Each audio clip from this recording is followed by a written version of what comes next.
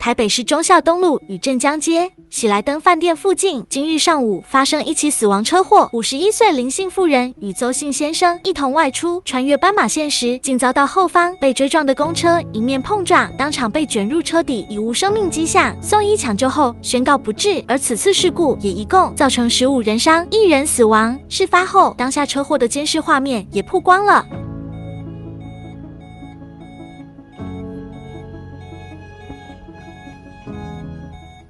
台北市中正区忠孝路一段喜来登饭店前，今日上午九时许，经传一起严重车祸。据了解，一辆公车右转镇江街时，已遭后方另一辆公车追撞，前方公车遭推撞往前碰撞行人，在追撞前方一辆计程车，导致当时正在穿越斑马线的五十一岁林姓妇人被卷入公车底盘下。警消获报赶抵，连忙将女子救出，而女子当场已无呼吸心跳，协助送往台大医院抢救后，仍宣告不治。北市消防局此次共计派遣遣。消防车六辆、指挥车两辆、救护车十三辆及人员四十六名前往救援，而这场车祸也造成十五名民众受伤。至于详细事故原因，双方责任归属，尚待警方进一步调查厘清。经我们调查呢，是有发生在九点零八分左右。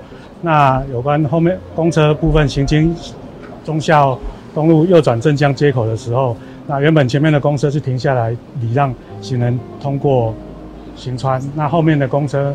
可能刹车不及，然后撞击前面的公车，造成前面的公车去波及到经过行穿的行人，还有另外一部计程车而肇事。目前肇事驾驶怎么供称说怎么会发生车祸？他有酒驾或受其他违法刑事吗？